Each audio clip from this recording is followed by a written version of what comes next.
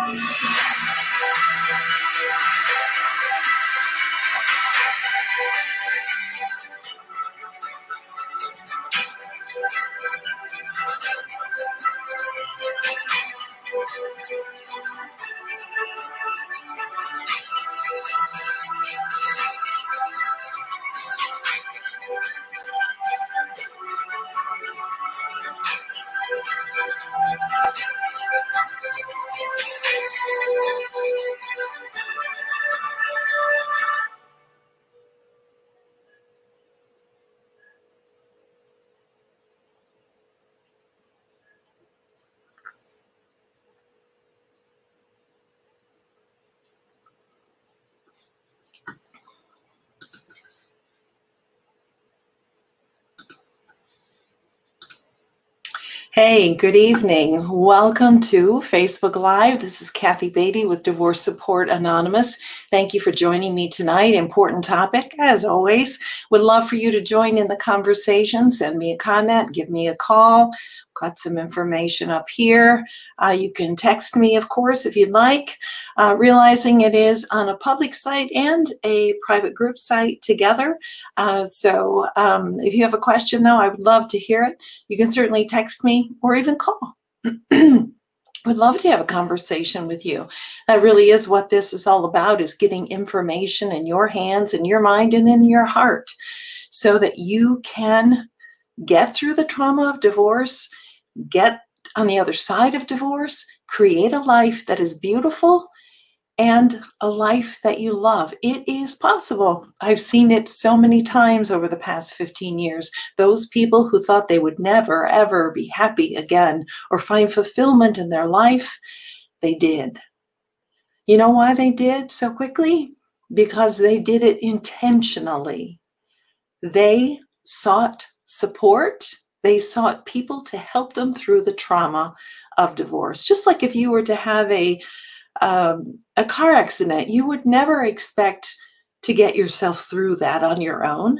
Well, a divorce is a trauma, like a car accident, that requires help. You need those people in the legal area, the emotional area, the, the spiritual area. You need those people. You need to develop that team. I love the topic tonight.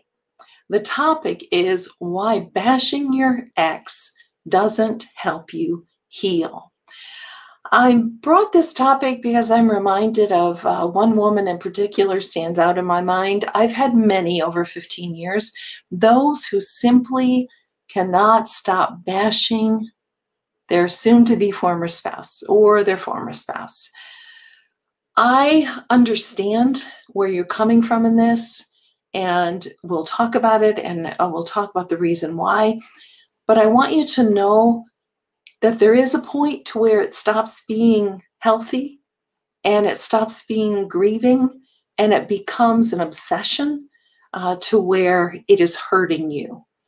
And we don't want that. Uh, this is causing enough damage. So we want to deal with this in a healthy way and to get beyond it. I love this quote uh, that came from Nancy Collier. We hold on to our pain in an effort to figure out how to let it go. So when we are bashing, we really are trying to deal with the injustice, trying to sort in our mind because it seems so surreal. And many injustices have happened to many of us. And that's one way to deal with it, but it's not a healthy way.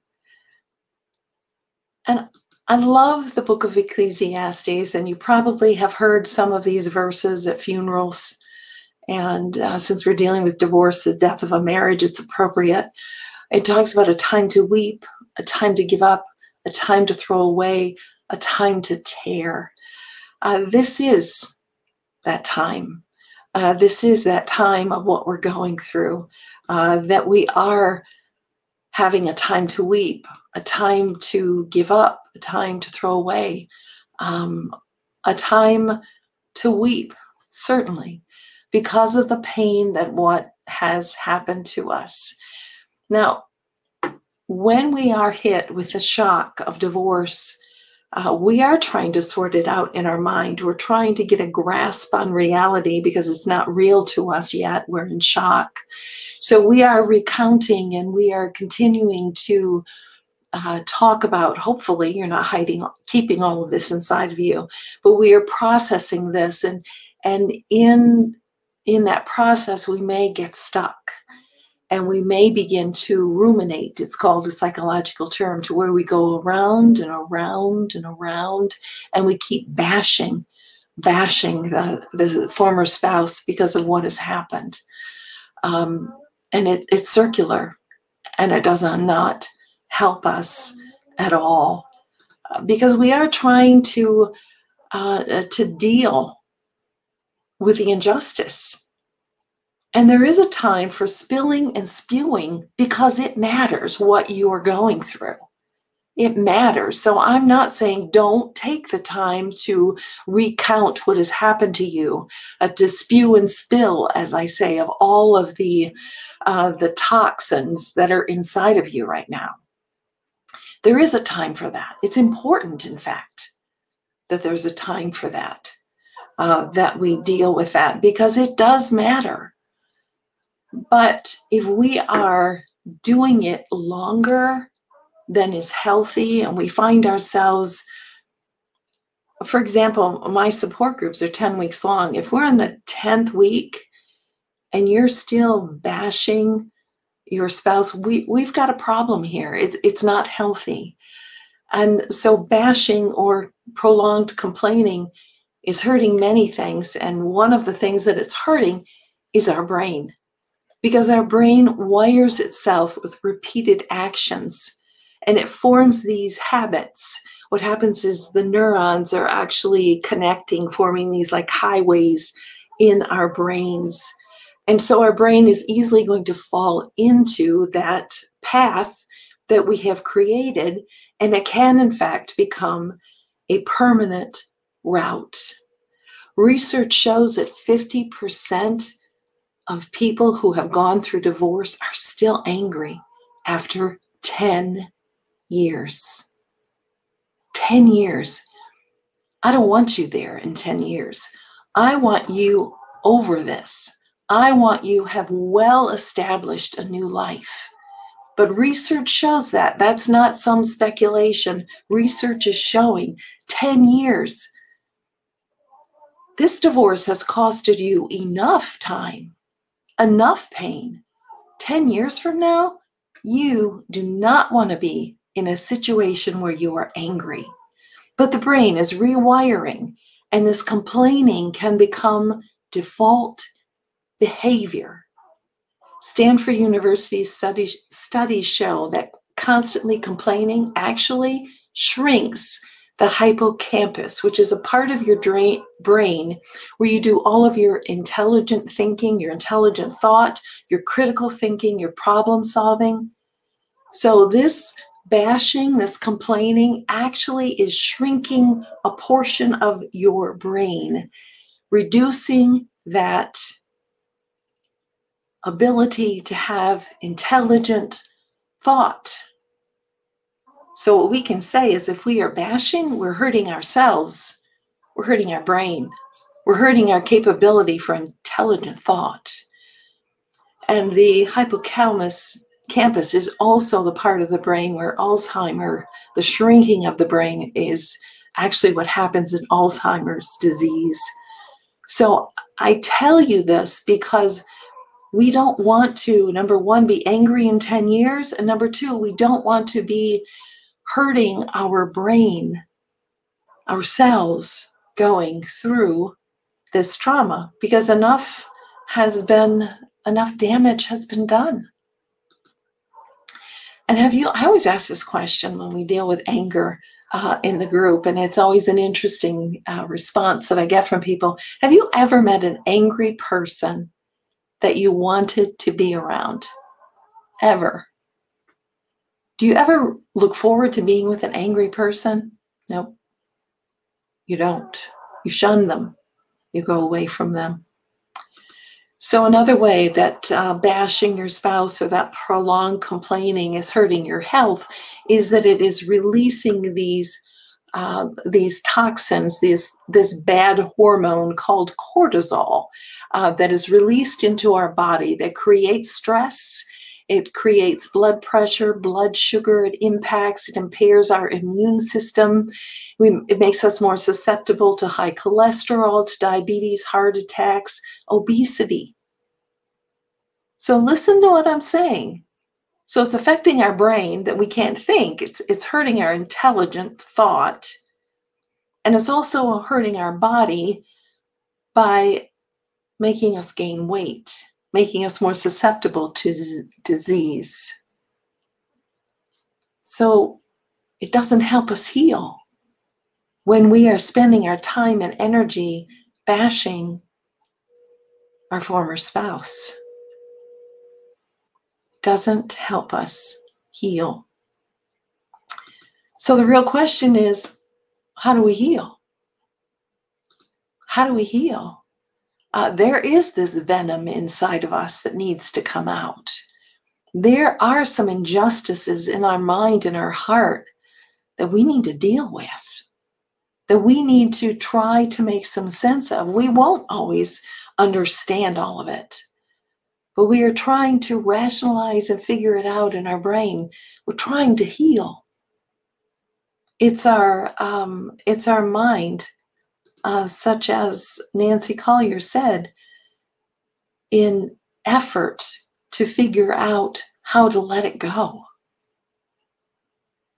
And it's peculiar that we hold on to it so tightly when really we're trying to figure out how to let it go. So the real question is how do you heal? You are going to need to grieve and talk and spill and spew for a while. Many of you don't like the idea of grief. Some of us don't even know how to grieve because it was never demonstrated to us in our family of origin. And we've always tried to be that tough person that's in control. You're hurting yourself. You're hurting yourself by not allowing that time of grief, allowing a place where you can spill and spew what you need to, to, to deal with for a while. So that's number one. Um, number two is get support. Someone to walk alongside of you to speak truth and hope into your life you cannot only listen to your own brain because our feelings are not rational and they're not honest right now. So get the support. Um, redirect your words and thoughts to gratitude because gratitude makes your world bigger and it changes your brain if you can redirect in gratitude and list those things that you are grateful for, instead of using that energy to be bashing your former spouse, redirect that energy to where you can find things to be grateful for. It may be your eyesight, maybe your health, it may be your ability to walk. I don't know how basic you need to get. But there's always, always, as the saying is, something to be grateful for. So redirect that energy, refocus it over to gratitude instead of bashing your former spouse. Um, uh, the next one catch yourself when you're bashing. When you find yourself talking negatively about him or her, refocus this energy to your own future. Because when you are ruminating in all of this wrong that's happened in the past, you're living in the past. But there's a future. So if you start to say something, refocus, redirect to talk about plans for your future. And that's exactly what we do in my program. We start with 10 weeks getting you through divorce, the next eight weeks of building your life after divorce, and then five weeks of a mastermind for accountability to get us moving and creating that new life. So refocus. Design your life. Take that energy away from the negativity, redirect it into a positive, positive direction. We have to be intentional right now. We cannot be a reflex to the pain that has happened to us. We must take control. There is a time to weep, there is a time to tear. But you know what? There's also, Ecclesiastes says, there's a time to plant, a time to heal, a time to build, a time to dance, a time to search, a time to mend.